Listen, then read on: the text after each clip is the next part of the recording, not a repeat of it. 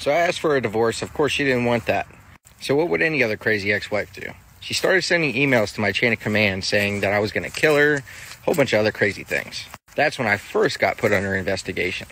Of course, that was unfounded, so I was in the clear. So she couldn't get me for that. She decided that she would make a fake email of me and a fake email of another person who was a male. This was when Don't Ask, Don't Tell was in effect. So she would email back and forth all types of crazy messages, and then she was sending them to the chain of command again. Investigation number two. Of course, that was unfounded. So, what else could she do, right? The fact that little simp army boy here doesn't blame the chain of command for investigating him for potentially being a homosexual after he just proved his ex-wife was trying to spurn him kind of shows that it's like uh, this loyalty to the country, the loyalty to the military is dysgenic.